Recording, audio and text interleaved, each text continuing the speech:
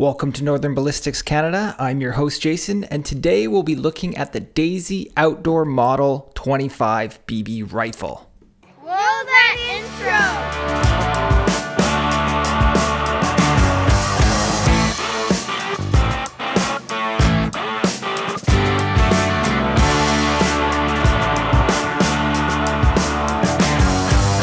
So, a long time ago, Lawrence from Daisy sent me up a couple toys for my boys. I've got two young boys that absolutely love their Daisy Red Ryder that Grandma gave them.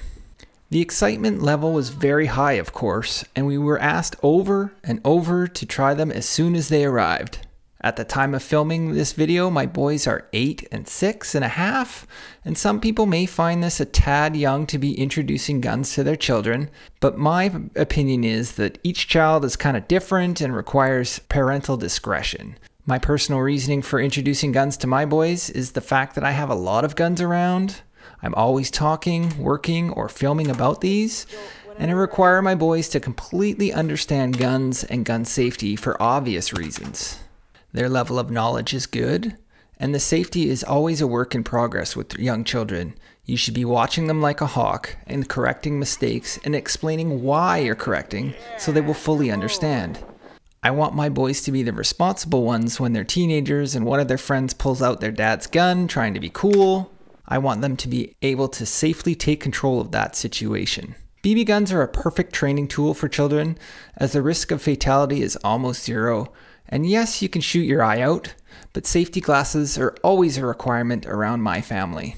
Daisy Outdoor has been around since 1882, originally known as the Plymouth Iron Windmill Company. They would start giving away a BB gun with each windmill purchase in 1888, and eventually dropping windmills completely and forming the Daisy Manufacturing Company in 1895, focusing 100% on their air rifles. The Red Ryder rifle has been their mainstay all these years, but that's not all they make. They've got several BB options for you to choose from. The Model 25 has been around for over 100 years and is a full metal offering with a full pump action. It's 36.5 inches, which is about 92 centimeters in length, and has a 13.6 or 34 centimeter pull. This longer platform really adds to the accuracy out of all the kids' BB rifles I've used, and this is by far the most accurate option. When I mentioned the full metal body with the wood on the stock and pump, it's quite heavy for my younger boy. My youngest really has a hard time keeping it on the target and prefers the smaller Red Ryder option. It weighs in at about 4.8 pounds or 2.17 kilograms, which for young arms is a bit much.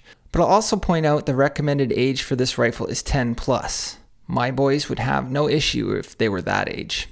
The rifle is a basic spring power plant and takes a little muscle to pump. My 8 year old is capable to pump, but it does take considerable effort. The power plant produces approximately 350 feet per second and is accurate enough at 7 meters and is definitely not a bench rest gun, but absolutely a kid's backyard plinking masterpiece.